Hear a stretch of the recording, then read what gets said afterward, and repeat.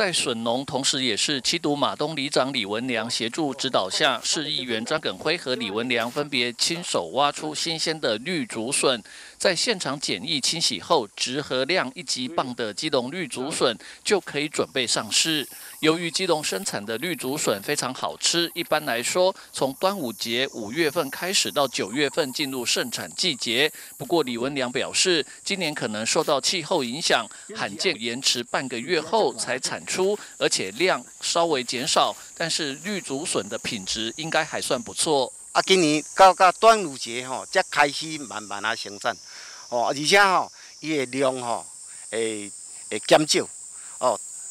因呃，过去咱一般一支一丛竹啊掰落去吼，拢是两支、三支，啊，即摆拢拢一支单支的尔。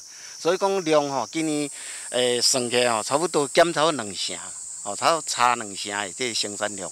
吼，啊，当然咱欣赏生生产量少吼，诶是是迄个对农民是有较快活，但是减收啦，啊减收入，啊，但是它的伊的价格方面吼比较。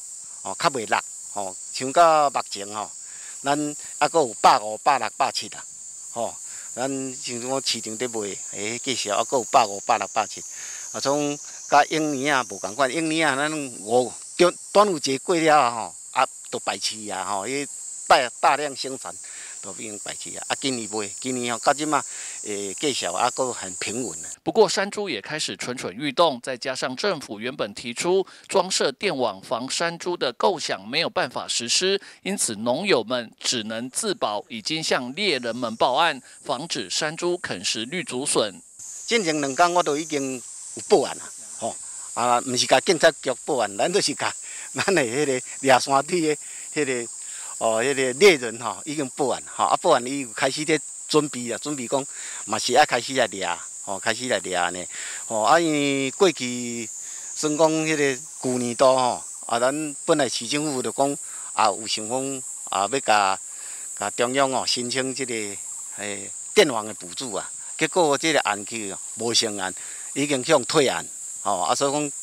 今年有啊无啊？对于笋农们的痛苦，身兼基隆市休闲农会理事长的市议员张耿辉也强烈向政府喊话，要想办法保护农友和他们的农作物。因为当初也建议说，我们要要鼓励农民呐，这个架设这个电网。可是，诚如我们李理长所讲的，报上去没有下文，我不知道这是什么原因。而且在议会讨论里面也说，相对的也鼓励他们来。来来那个来布置啊，这个电网，可是啊，人家报上去，结果没下文。我是觉得我们市政府相关单位真的要加把劲，努力一点。张耿辉进一步表示，如何兼顾保护野生动物以及农友们的权益都非常重要。以基隆来说，包括山猪、山羌、猴子以及松鼠，就被基隆农民们列为四大害。记者吴俊松基隆报道。